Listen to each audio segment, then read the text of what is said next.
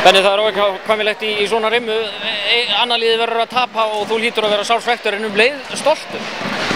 Já, þetta er náttúrulega ömulega leiðilt að tapa og, og, og þó að svo sem að við höfum komið inn í þessa séri og enga tapa alltaf vinna, þá er þetta samt ömulega leiðilegt. En ég náttúrulega, væri náttúrulega bara bjáni ef, að, ef að ég myndi ekki rosa þessum strákum mínum núna þegar maður gerir veturinn upp. Þetta eru, já, ég veit ekki hvað margir kaplar sem eru búin að skrifa í, í kaunaboltasöguna og, og, og þeir eru bara búin að vera frábærir.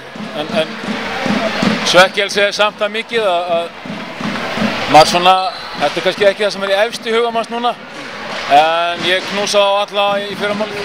Það, það sem að kannski eh, er aðalega svekkjandi, við erum að tala til að setja þetta í samhengi, við erum að tala um deildamestarana, liðið sem við búum að tala upp í allan vetur, á móti liðið sem að svolítið lættist en, en sprakk svo út í úslutakefnu og, og það munar bara elspítu í, í, að minnst okkurstu tveimur leikum.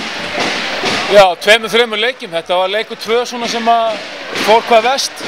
Hinnir voru bara í þokkalögu jafnvægi og ég menn það vant ekki mikið upp á hérna. Það voru meinustu yfir, tvær mínútur eftir og, og við förum að stífa hliðalín og klikku vítum og, og setjum mikið opinskot niður.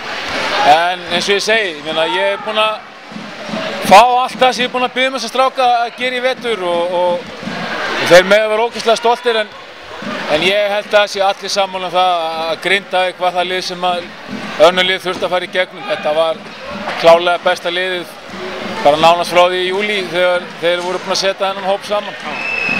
Hvað er það sem að þið gerir? Hvernig er, er hægt að koma toppliðinu, deildameistarunum í jafn mikil vandræð og raunber vitni í svona úslítarimmu?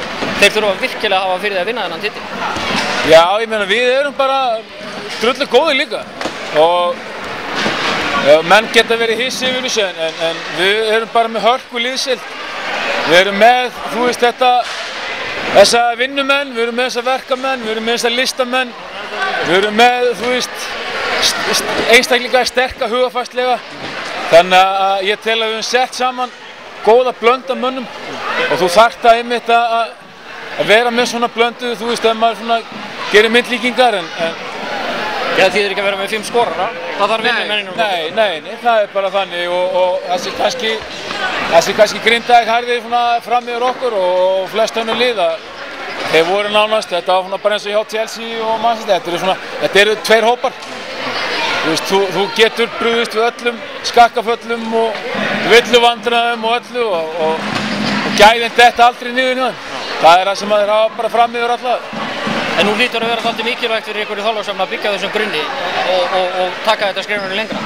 Það er rétt að vona. Ég, við hérna, gerðum mikið með, með hérna, þessu höfðum í vettur og þá er ég ekki að tala um leikmannahópin, heldur bara þú veist það sem þessi staði býður upp á. Ég meina, við, við kannski mættum njóta meiri skilnings, veist, fyrirtækja og annara sem að En ég hef trú á að núna verði sett gott búst í þetta og menn sjáu hvað þetta er mikilvægt fyrir svona bæjarfélag að eiga já, bara svona listamenn eins og þessi strákar eru búin að vera í vettur.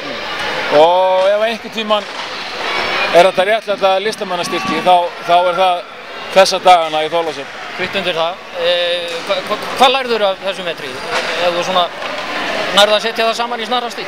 Maður náttúrulega lærði helling eins og, eins og vennilega. Maður lærir á, á hverju einasta tímabili og maður segir alltaf að þegar maður, þegar maður telur sig vera hættan að læra og hættan að vera umdeltan þá hættir maður þessu. Takk fyrir þetta bara, gangi vel. Takk fyrir það.